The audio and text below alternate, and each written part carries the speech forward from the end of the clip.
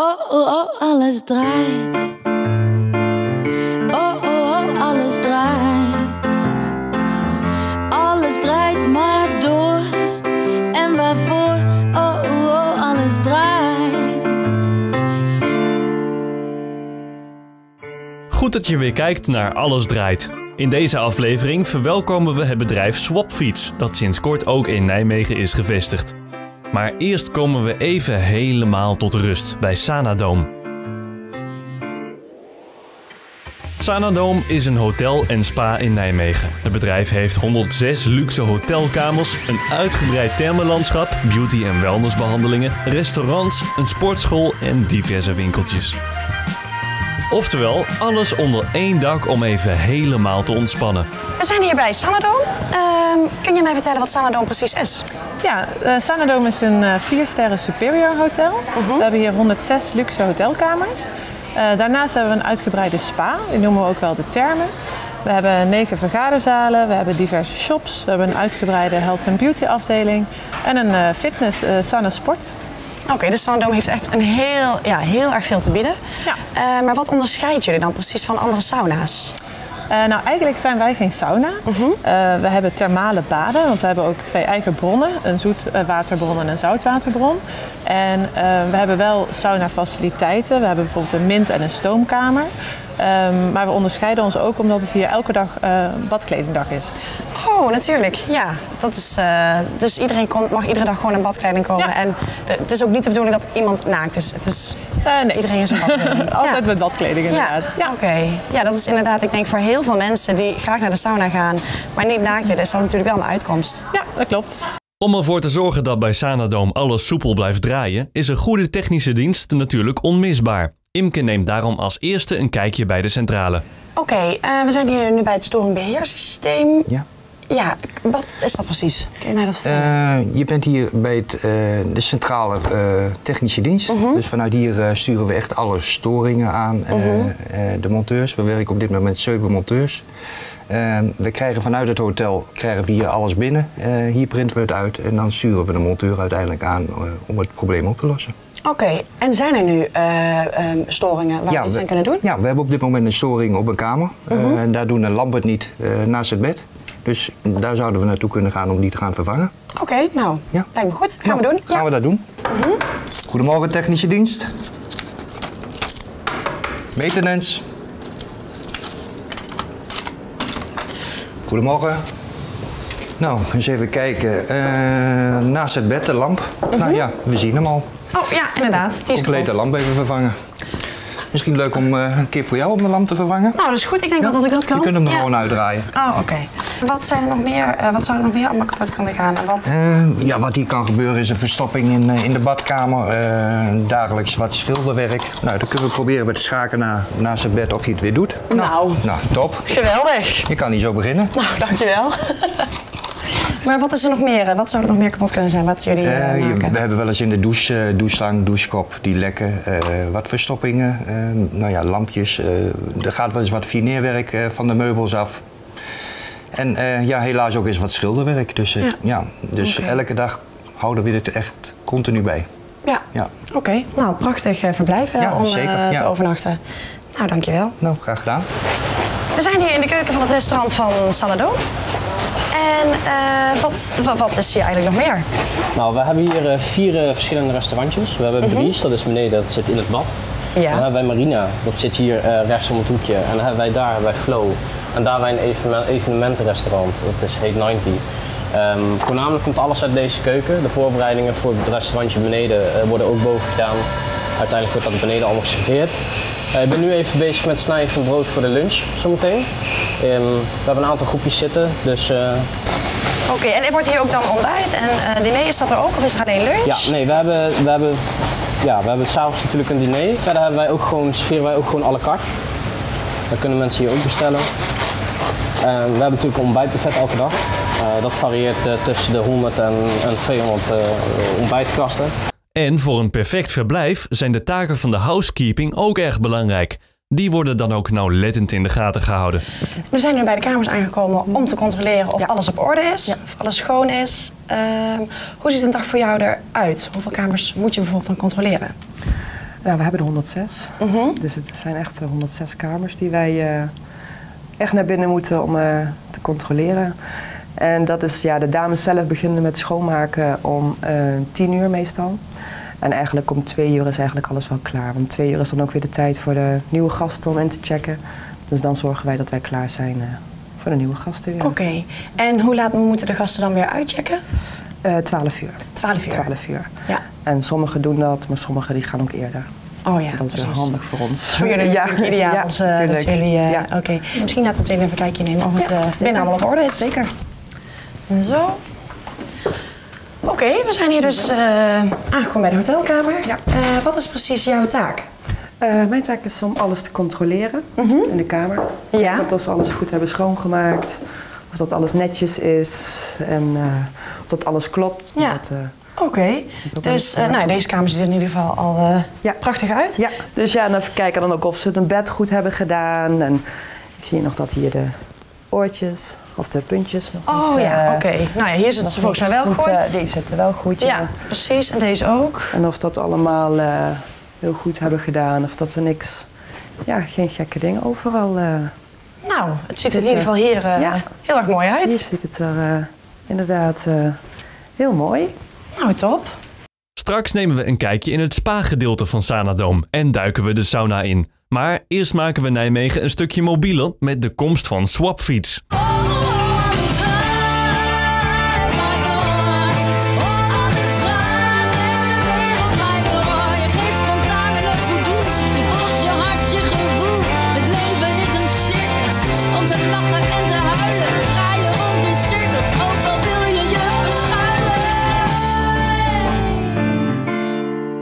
Nou, om te beginnen, wat is Swapfiets? Swapfiets. Swapfiets is eh, de- het eerste ja, bedrijf dat abonnement fietsen verhuurt, als het ware. Eh, het is opgericht door drie studenten rond 2014. En het is eigenlijk bedacht omdat ze heel veel, ja, voornamelijk studenten, maar überhaupt mensen op barrels van fietsen zagen rijden. En daar wilden ze vanaf. Ze hadden zoiets van, fietsen maken is altijd duur, daar ben je lang je fiets kwijt. Ja. Daar moet iets op verzonnen worden. Eh, dus zij kwamen met een abonnementsfiets waar studenten voor 12 euro in de maand en reguliere klanten voor 15 euro in de maand eigenlijk altijd een werkende fiets hebben met de volledige service inbegrepen. Bij ons is het de blauwe voorband en de fietsen die hebben we allerlei soorten kleuren. Dus je hebt fietsen in zwart en je hebt ze in oranje en je hebt ze in blauw en je hebt ze in rood. Ja. Eh, en ze hebben allemaal dezelfde blauwe voorband. Aha, oké. En al die fietsen die horen bij ons. Oké. En dan hebben wij ook nog een uitvoering met versnellingen erop. En dat noemen wij de deluxe fiets. Die heeft zeven versnellingen. Eh, en daar betaal je 19 euro in de maand voor. En nu zijn we bij de loods en nu gaan we gerepareerde fiets halen. fietsen ophalen. Ja. Oké. De nieuwe fietsen die komen met een levering binnen van ongeveer 182 fietsen per vrachtwagen. Eh, daar staan dan een paar man en die laden die fietsen hier uit. En die gaan via de achterkant gaan ze hierin. En dan eh, komen ze in dozen komen ze hier binnen en worden ze hier stuk voor stuk als Lego pakketjes eigenlijk in elkaar gezet. Oké, dus het komt echt binnen als losse stukken. Nee, ze komen wel binnen met het frame zeg maar en het stuur scheef. Eh, Maar bijvoorbeeld de trappers die moeten er nog aangezet worden. En Ja. vervolgens moet al het karton en al het plastic en dergelijke moet er afgehaald worden. En ik kan me voorstellen dat je allemaal verschillende maten mensen hebt, zeg maar, qua eh, lengtes. heb je ook, heb je ook eh, verschillende groottes in fietsen? Ja, we hebben twee modellen fietsen. Eh, Die zijn te onderscheiden aan een blauwe sticker op het frame of een witte sticker. Dat is voornamelijk voor ons als werknemers natuurlijk belangrijk. Ja. Daar heeft de klant verder niet zoveel mee te maken. Maar we hebben een groot frame en een klein frame. En daarmee houden we rekening met eh, kleine mensen en grotere mensen. Ja, dus dan kun je zeggen, goh, ik ben 1,75, dus dan eh, weet jij of ik een kleine of grote fiets Ja, als je je inschrijft, dan eh, vermeld je dat erbij. In principe geef je al je persoonlijke gegevens op. Oké. En als wij zien dat iemand onder de 1,70 is, bijna bij nationale meisjes voornamelijk rekenen we tot en met 1,75. Dat is allemaal niet hele belangrijke informatie. Maar ja, kleiner dan 1,70 krijg je een, een klein model en groter dan 1,70 een groot model. Oké.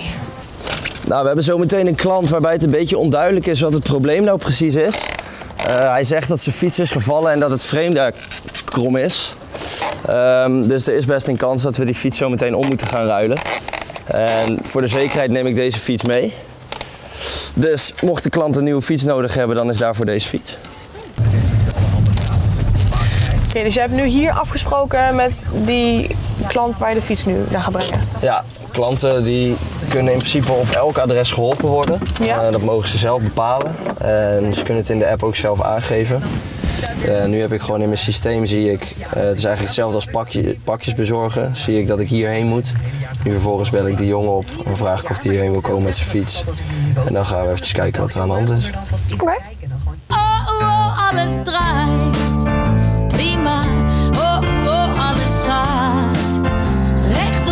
Tot slot is het tijd voor een uitgebreide wellnessbehandeling in de spa van Sanadome. We zijn hier nu bij Strasol. Eh kun je mij vertellen wat, eh, wat dat eigenlijk is? Ja, de Razul is een Oosterse schoonheidsbehandeling. eh, waarbij, dat ga ik jou straks ook laten zien, waarbij gewerkt wordt met verschillende soorten klei. eh, met een, allemaal een verschillende structuur. Iets voor het gezicht, speciaal voor de buik, voor de armen, voor de benen. En die klei die zorgt er eigenlijk voor dat de huid heel goed gereinigd wordt. En door de warmte in de sauna, wat ik jou straks ook laat zien, worden echt de poriën geopend. Kan die klei heel goed zijn werk doen. Heeft echt een reinigende werking.